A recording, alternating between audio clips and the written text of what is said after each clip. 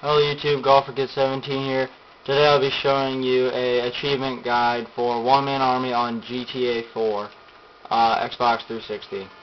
Uh, the details for this achievement are get 6 stars of wanted level for 5 minutes.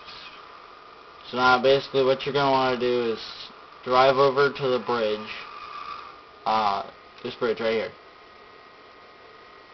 Drive over to the bridge. This has to be on the very first island if you've already gone through uh, story mode and you've already got to the second island, you're just going to have to start a new game, but you don't have to save or anything. You can do this from the very start of the game.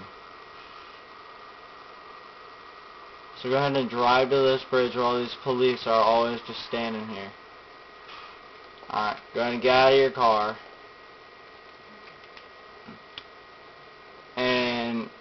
You're going to want to run into here, and as soon as you get your wanted stars, jump over the side. And make sure you go to the center. Uh, just keep your wanted stars here like this. Just stay under this bridge for a uh, total of five minutes. Just under here. They can't kill you or anything, but make sure you stay in the center of it because uh, trains will come by and they'll hit you. I mean, it's happened to me before. I've gotten hit by trains. So basically, after five minutes of just standing here, you'll get your achievement. Um, thank you for watching YouTube. Please rate, comment, subscribe. Uh, please give me some video ideas. I recently got an iPad, uh, so if you want any video ideas for that, please just let me know. Alright, YouTube. See ya.